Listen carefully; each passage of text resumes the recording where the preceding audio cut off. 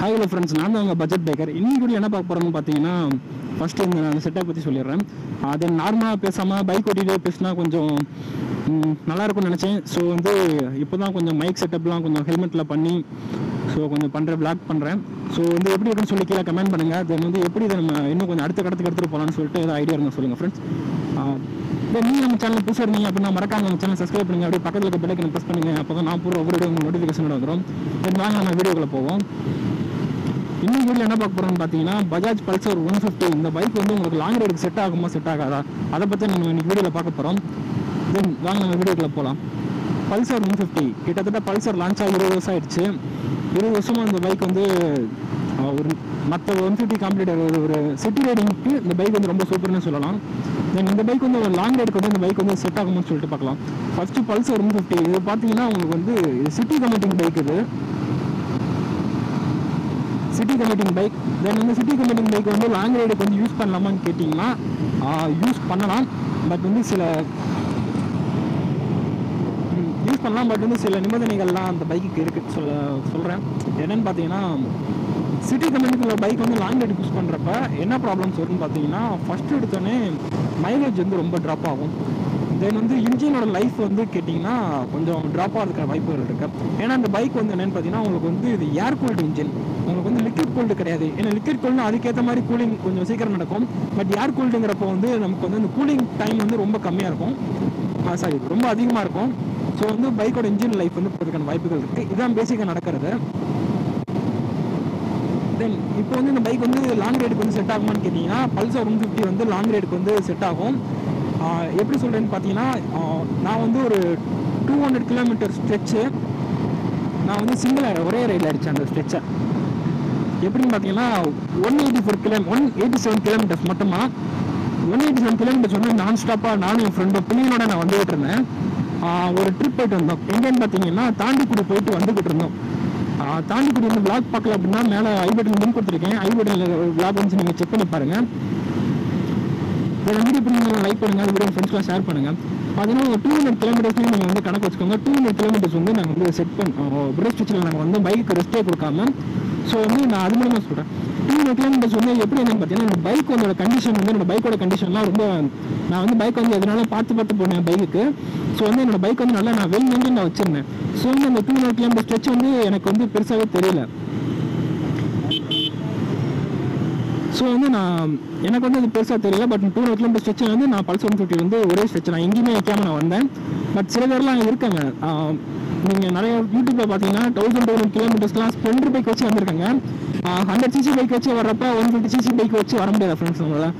நம்பிக்கை இருந்தால் போதும் நம்ம கண்டிப்பாக வந்துடலாம் பட் என்ன கேட்டிங்கன்னா ஒரு ஹண்ட்ரட் கிலோமீட்டர்ஸ் ஒன்ஸ் பைக்குக்கு வந்து ஒரு ten to fifteen minutes rest கொடுத்தீங்கன்னா நல்லாயிருக்கும் அது பைக்கோட லைஃப் கொஞ்சம் நல்லா இருக்கும் then long ride comfort Pulsar ஃபிஃப்டியை பொறுத்த வரைக்கும் லாங் ரைட் கம்ஃபர்ட் வந்து எப்படி இருக்குன்னு கேட்டிங்கன்னா ரைடருக்கு வந்து லாங் ரைட் கம்ஃபர்ட் வந்து ஓகே பட் வந்து பிளியனுக்கு வந்து லாங் ரைட் கம்ஃபர்ட் வந்து செட் ஆகல.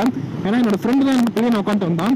அவனுக்கு வந்து பயங்கரமான பேக் பெயினே சொல்லலாம். கிட்டத்தட்ட ரெண்டு நாள் அவனுக்கு ரொம்ப பேக் பெயின் ஆரம்பிச்சு வந்ததில்ல தென் அடுத்து என்னன்னு பார்த்தீங்கன்னா எப்படி சொல்கிறது உட்கார்ற இடம் வந்து ரொம்ப இதாயிருச்சு அவனுக்கு.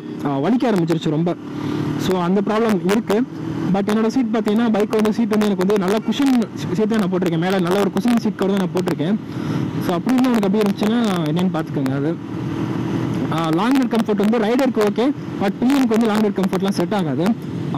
அடுத்து ஒரு மூணாவது விஷயம் என்னென்னு பார்த்தீங்கன்னா க்ரூசிங் ஸ்பீடு எவ்வளோன்னு சொல்லி கேட்டிருந்தீங்க கமெண்ட்டில் கேட்டிருந்தீங்க. க்ரூசிங் ஸ்பீடு வந்து செவன்ட்டி ஃபைவ்லேருந்து எயிட்டி ஃபைவ் இந்த ஆவரேஜ் ஸ்பீடில் தான் நான் வந்து க்ரூஸ் பண்ணிகிட்டு இருந்தேன். நான் போகிறப்ப கொஞ்சம் மெதுவாக போனேன் பட் நான் வரப்போ வந்து செவன்ட்டி ஃபைவ்லேருந்து eighty five eighty sorry eighty kilometre seventy ஃபைவ்லேருந்து எயிட்டி சொல்கிறேன் அடுத்து மூணாவது விஷயம் என்னன்னு பார்த்தீங்கன்னா க்ரூசிங் ஸ்பீடு எவ்வளோன்னு கேட்டிருந்தீங்க. க்ரூசிங் ஸ்பீட் பொறுத்த வரைக்கும் 70 ல இருந்து செவன்ட்டி ஃபைவ் எயிட்டி நான் இவ்வளோதான் மேக்ஸிமம் செவன்ட்டி செவன்ட்டி ஃபைவ் இதெல்லாம் நான் இது பண்ணேன் நீங்களும் கேட்பீங்க செவன்ட்டி செவன்ட்டி ஃபைவ்ல மெயின்டைன் பண்ணோம்னா பைக்கோட மைலேஜ் ட்ராப் ஆகும்னு சொல்லி கேட்டிருந்தீங்க. பட் எனக்கு வந்து என்ன நடந்துச்சுன்னா மிராக்கலாக எனக்கு வந்து சர்ப்ரைசிங்காக இருந்துச்சு. எனக்கு வந்து மைலேஜ் பைக்கோட மைலேஜ் வந்து ட்ராப் ஆகலை. நம்ம அப்படியே மைலேஜ் அடுத்த நாளாக விஷயத்துக்கு நம்ம போவோம். மைலேஜ் வந்து எனக்கு ட்ராப் ஆகலை. என்னோட பைக் பொறுத்த வரைக்கும் சிட்டிக்குள்ள வந்து எனக்கு வந்து ஃபார்ட்டி ஃபைவ்ல இருந்து ஃபார்ட்டி செவன் கிடைக்கும் ஹைவேல வந்து எனக்கு வந்து ஃபிஃப்டி ஃபிஃப்டி ஃபைவ் அந்த ரேஞ்சில் முன்னாடி கிடச்சிட்டு இருந்துச்சு. அதுக்கப்புறம் நான் ரீசெண்டாக செக் பண்ணவே இல்லை. பட் அது நார்மலாக ஒரு ஃபிஃப்டி ஃபைவ் சிக்ஸ்டி ஸ்பீடில் ஓட்டுறப்ப எனக்கு கிடச்சிது. பட் செவன்ட்டி ஃபைவ் எயிட்டிங்கிற பொறுத்த வரைக்கும் பஜாஜுக்கு கொஞ்சம் ஓவரான ஸ்பீட்னு சொல்லலாம். ஒன் ஃபிஃப்டி சிசி இந்த பைக்குக்கு அது கொஞ்சம் அதிகமாக சொல்லலாம். செவன்ட்டி ஃபைவ்ல எயிட்டி க்ரூஸ் பண்ணுறது பட் என்னென்னா எனக்கு வந்து மைலேஜ் வந்து என்னென்னு பார்த்தீங்கன்னா ஃபிஃப்டி கிடச்சிது. எப்படி நான் சொல்கிறேன்னா நான் வந்து பெட்ரோல் பங்க்கில் வந்து பெட்ரோல் போடுறப்பயே என்னோடய பைக் வந்து சுத்தமாக ட்ரை ஆயிடுச்சு. நான் தள்ளிட்டு போய் தான் பெட்ரோல் பங்க்கே நான் இப்போ நீ கொஞ்சம் பெட்ரோல் அடிச்சு பட் நான் பெட்ரோல் பங்க் போனோடனே அது ஆஃப் ஆயிடுச்சு வண்டி. ஸோ வந்து கரெக்டாக டேங்க் எம்டி பட் நான் கரெக்டாக ஃபைவ் ஹண்ட்ரட் ருபீஸ்க்கு வந்து நான் பெட்ரோல் போட்டேன்.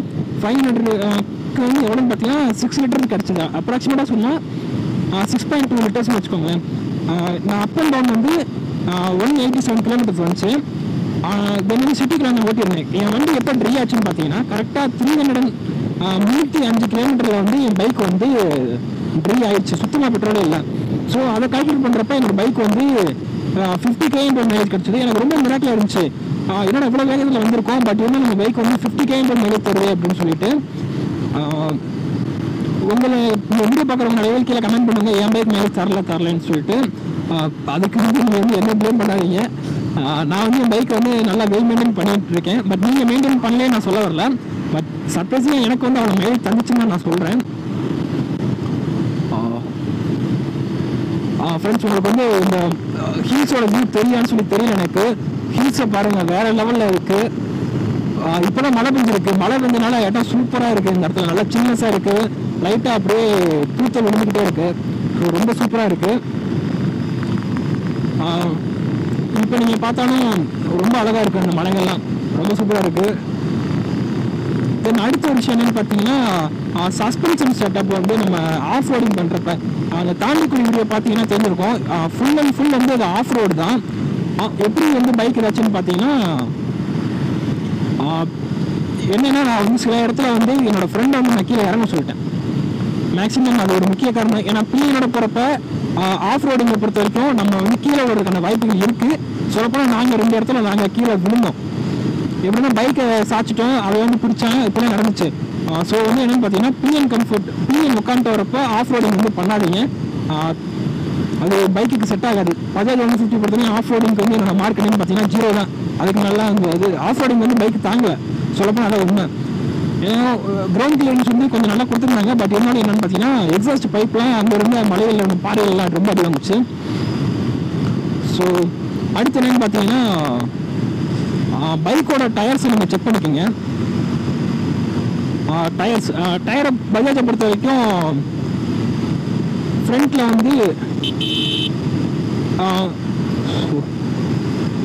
பஜாஜை பொறுத்த வரைக்கும் ஃப்ரண்ட்டில் வந்து பார்த்தீங்கன்னா உங்களுக்கு வந்து எயிட்டி செக்ஷன் டயர் இப்போ வந்து பார்த்தீங்கன்னா உங்களுக்கு நைன்ட்டி பை நைன்ட்டி என்னோட பைக்கோட டயர் பார்த்தீங்கன்னா இந்த இது நம்பர் சொல்லியிருப்பாங்க டூ பாயிண்ட் செவன் போட்டிருப்பாங்க. டூ பாயிண்ட் செவன் ஃபைவ் அதான் என்னோட என்னோட ரியல் டயர் பார்த்தீங்கன்னா hundred by eight section tyre but வந்து இதை வச்சுட்டு ஹில்ஸில் ரைடிங் பண்ணுறது முடியாத ஒரு காரியம் பட் இருந்தாலும் என்னென்னு பார்த்தீங்கன்னா என்னால் முடிஞ்ச அளவுக்கு எவ்வளோ சாட்சி ஓட்ட முடியுமோ அவ்வளோ சாட்சி நான் பைக்கை ஓட்டினேன். கார் கார்னரிங் சொல்ல முடியாது. ஏதோ நான் ஓட்டினேன்னு சொல்கிறேன் அவ்வளோதான் நம்ம பிளாக்லாம் பார்த்தீங்கன்னா மேக்ஸிமம் நம்ம ஹில்ஸில் தான் போயிருப்போம். ஹில்ஸை பொறுத்த வரைக்கும் பஜாஜ் ஒன் ஃபிஃப்டி வந்து ரொம்பவும் சூப்பராக இருந்துச்சுன்னு சொல்லலாம். என்னன்னா பிள்ளைங்க உட்காந்துருந்தாலும் பஜாஜ் பைக் வந்து ரொம்ப சூப்பராக இருந்துச்சு. எங்கேயுமே பைக் வந்து ஸ்ட்ரகிள் ஆகலை. அந்த ஸ்ட்ரகிள் நான் ஃபீல் பண்ணவே இல்லை. போத் நாங்கள் வந்து பார்த்தீங்கன்னா ஆவரேஜாக நான் ஒரு செவன்ட்டி செவன்ட்டி கேஜிஸ் இருப்பேன். என் ஃப்ரெண்டு வந்து ஒரு ஃபிஃப்டி ஃபைவ் கேஜி சிக்ஸ்டி இருப்பான் வச்சுக்கோங்களேன் ஆவரேஜாக ஒரு ஒன் தேர்ட்டி கேஜிஸ் இருப்பான். பட் இருந்தாலும் பைக் வந்து எல்லாமே ஸ்ட்ரகிள் ஆகிற நான் ஃபீலே பண்ணல. ரொம்ப நல்லா இருந்துச்சு. இருந்தாலும் என் பைக் என்னன்னு பார்த்தீங்கன்னா என்னோட பைக் வந்து கிட்டத்தட்ட பத்து வருஷம் பழைய பைக் என்னோடது. நீங்கள் நல்லா புரிஞ்சுக்கணும் என்னோட பைக் வந்து பத்து வருஷம் பழைய பைக் ஸோ என்னென்ன இதில் இன்னும் என்ன சொல்ல பார்த்தீங்கன்னா இப்போ வர பைக்கில் வந்து நிறைய டெக்னாலஜி கொண்டு வந்துட்டாங்க. இப்போ வர பஜாஜ் ஒன் ஃபிஃப்டிலாம் பார்த்தீங்கன்னா உங்களுக்கு ஃபியூல் இன்ஜெக்ஷன் இருக்குது எல்லாமே இருக்குது ஸோ உங்களுக்கு மைலேஜ் எஃபிஷியன்சியாக இருக்கும் இன்னும் பவர் கொஞ்சம் அதிகமாக இருக்கும். ஸோ நல்லாயிருக்கும் பட் பத்து வருஷம் பழைய பைக்கில் இப்படி பெர்ஃபார்ம் பண்ணுறப்ப போகிற பைக்லாம் பாருங்கள் நல்லா பெர்ஃபார்மன்ஸ் நல்லா பெர்ஃபார்மன்ஸ் இருக்கும். பட் என்னை பொறுத்த வரைக்கும் சிட்டி கமிட்டிங் பைக் வந்து நம்ம லாங் ரைட் கொண்டு போகிறப்ப நிறைய ப்ராப்ளம்ஸ் வரும். கண்டிப்பாக நிறைய ப்ராப்ளம்ஸ் வரும். மேக்ஸிமம் ஃபஸ்ட்டு எடுத்துன்னு வர ப்ராப்ளம் என்னன்னு பார்த்தீங்கன்னா உங்களுக்கு வந்து இன்ஜினோட லைஃப் வந்து போகும் சீக்கிரமாக போயிடும் இன்ஜினோட லைஃப் வந்து சீக்கிரமாக போகும். எதனால பார்த்தீங்கன்னா பைக் வந்து ஓவர் ஹீட் ஆகுது. தென் வந்து பைக்குக்கான ரெஸ்ட் நம்ம கரெக்டாக கொடுக்கல. ஸோ இதனாலே நமக்கு வந்து இன்ஜின் லைஃப் வந்து சீக்கிரம் போகும். தென் வேற எதுவும் சொல்லணும்னு பார்த்தீங்கன்னா வேற என்ன சொல்றதுன்னா லாங் ரைட் போகிறதுக்கு முன்னாடி பிரேக் வந்து நீங்கள் நிறைய நல்லா செக் பண்ணிக்கோங்க. பிரேக் அண்ட் டயர்ஸ் செக் பண்ணிக்கோங்க. ஸோ இது ஒரு சொல்லணும்னு வந்து சொன்னேன். தென் இந்த ஸ்டைலில் வீடியோ பண்ணுறது பிடிச்சிருந்துச்சுன்னா கீழே கமெண்ட் பண்ணுங்கள் தென் வீடியோ பிடிக்காதுன்னா டிஸ்லைக் பண்ணுங்கள் ஏன் பிடிக்கலன்னு சொல்லி கீழே கமெண்ட் பண்ணுங்க. தென் மீண்டும் ஒரு புதிய வீடியோ சந்திக்கலாம். மதுரை உங்களது விடப்படுகிறேன் உங்களது பட்ஜெட் பேக்கர் பை ஃப்ரெண்ட்ஸ்